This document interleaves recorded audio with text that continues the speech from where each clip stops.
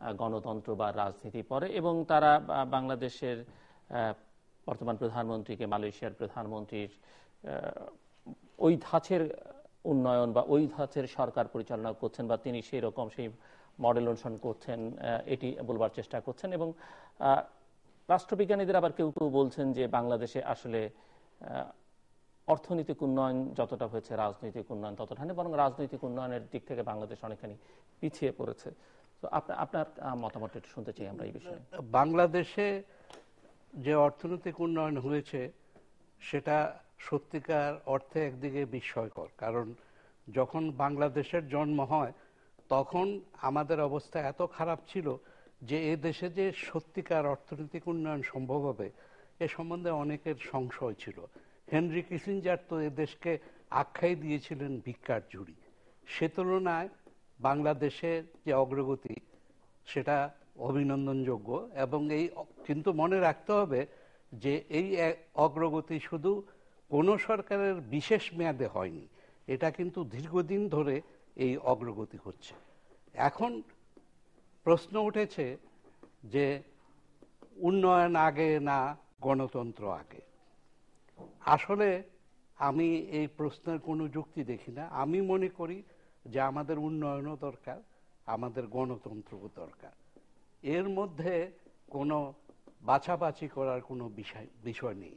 এখানে কয়েকটি বিষয় লক্ষণীয়। একটি বিষয় হলো যে বাংলাদেশের যে মুক্তিযুদ্ধের চেতনা, সেখানে গণতন্ত্রের যে স্থান, সেটা সুস্পষ্ট। চারটি স্তম্ভের মধ্যে একটি গণতন্ত্র এবং তার মানে এই মুক্তিযুদ্ধের চেতনায় যেটা আমরা আশা করেছি, সেটা হলো যে গণতান্ত্রিক পদ্ধতিতে আমরা দেশের উন্নয়ন করব।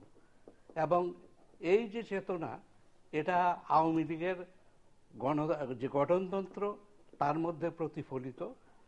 এবং এখন পর্যন্ত আওয়ামী লীগ যত নির্বাচনী ওয়াদা করেছে, তার কোথাও কিন্তু বলে নাই যে কম গণতন্ত্র হবে, বেশি উন্নয়ন হবে, এই ধরনের। এবং কম বেশি করতে গেলেই কতটুক কম কতটুক বেশি এই সমস্ত প্রশ্ন ওঠে।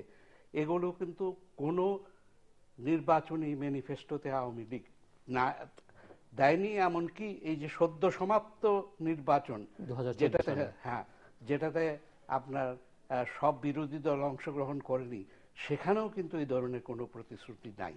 কাজে হঠাৎ করে যদি কেউ বলে যে না আমরা এখন উন্নয়ন বেশি করব গণতন্ত্র কম করব সেটা কিন্তু ইতিহাসের ধারাবাহিকতায় আসে না এক নম্বর, এবং দুই নম্বর হলো এটার কোনো যৌক্তিকতা নাই, কারণ এটা জনগণের কাছ থেকে তারা অনুমোদন নেননি।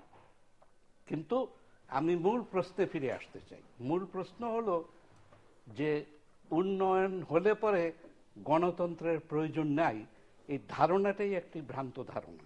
যদি সেটাই হতো, তাহলে পরে আয়ুব খানের ডেকেডের ডিকেডের রিফর্মসের মধ্যে দেশে গণতান্ত্রিক আন্দোলন হতো না। এবং পূর্ব ইউরোপীয় দেশগুলি যদি আমরা তাকাই, তাহলে বেশিরভাগ দেশে এই উন্নয়ন ধর্মী সরকারগুলি আসলে গণতান্ত্রিক আন্দোলনের কাছে তাদের পতন ঘটেছে। ইন্দোনেশিয়া সরকারের পতন ঘটেছে, সাউথ কোরিয়াতে সরকারের পতন ঘটেছে। শুধু দুটি দেশে এটা টিকে ছিল, মালয়েশিয়া এবং সিঙ্গাপুর, যেখানে গণতন্ত্রের উপরে বিধিনিষেধ আছে এবং উন্নয়ন হয়েছে। কিন্তু মালয়েশিয়ার পরিস্থিতি ভিন্ন কারণ মালয়েশিয়াতে যারা মালয় ভাষাভাষী তারা অন্য ভাষাভাষীদের দমন করে দেশ শাসন করছে। সুতরাং সেই ক্ষেত্রে তাদের পক্ষে পূর্ণাঙ্গ গণতন্ত্রে যাওয়া অসুবিধা। আর তেমনি চীনে চীনা ভাষাভাষী যারা সিঙ্গাপুরে। সিঙ্গাপুরে চীনা ভাষাভাষী যারা তারা সেখানে শাসন করছে এবং সেই জন্য গণতন্ত্রের উপরে কিছু নিষেধাজ্ঞা রয়েছে। কিন্তু এ ধরনের নিষেধাজ্ঞা আর কোথাও আপনার টিকে টিকেনি দোপে টেকেনি এবং এটার প্রয়োজন নেই। আর সবচেয়ে বড় কথা হলো যে উন্নয়ন হল, গণতন্ত্র হলে উন্নয়ন হবে না এই যুক্তিরও এই ধরনের যুক্তিরও কোনো সারবত্তা নাই। ভারত গণতান্ত্রিক পথে এগিয়েছে এবং গণতান্ত্রিক পথে এগিয়ে আজকে ভারত একটা পৃথিবীর অর্থনৈতিক শক্তিতে পরিণত হয়েছে, উন্নয়ন হয়েছে। কাজে আমি মনে করি না যে এই ধরনের কোনো ট্রেড অফ বা বিনিময় আছে। আমাদের যেটা দরকার সেটা হলো আমাদের গণতান্ত্রিক পদ্ধতিতে এগোতে হবে, কিন্তু আমাদের উন্নয়ন করতে হবে। আমাদের গণতন্ত্রও করতে হবে, আমাদের উন্নয়নও করতে হবে। এটাই হলো বাংলাদেশে রাজনীতির চ্যালেঞ্জ এটা থেকে মুক্তির কোনো উপায় নেই। বাট তর্কের খাতিরে যদি আমরা ধরেও নিই যে রাজনীতির চাইতে বা গণতন্ত্রের চাইতে উন্নয়নটা বেশি জরুরি বা মানুষের চাহিদা আছে আকাঙ্ক্ষা আছে যে আহ, ধরনের উন্নয়ন হচ্ছে আমি যদি বলছি যে আপনি যা দেখছেন তাতে করে আপনি কি মনে করেন তাতে জন আকাঙ্ক্ষা পূরণ হচ্ছে যে মানুষ তাতে এক ধরনের সন্তুষ্ট? কারণ যেখানে বাংলাদেশে তো গণতন্ত্রের ক্রাইসিসও প্রায় সব, কম বেশি অনেকটা সময় তেতাল্লিশ বছরের মধ্যে ছিল। এবং উন্নয়ন নিয়েও মানে অর্থনৈতিক অ- অগ্রযাত্রা, যদিও আপনি বলেছেন যে বিস্ময়কর তারপরে মানুষের মধ্যে এক ধরনের অসন্তোষ সবসময় ছিল।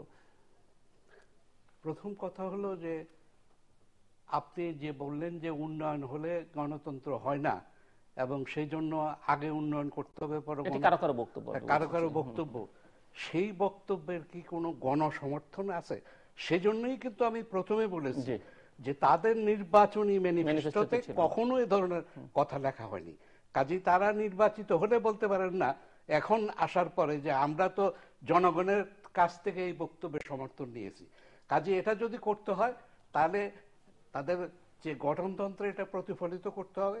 তাদের নির্বাচনী ওয়াদা করে নির্বাচনে পাশ করলে পরে তখন তারা বলতে পারে যে এটাতে গণসমর্থন আছে। অন্যথায় গণসমর্থনের কোনো যুক্তি এখানে আদৌ।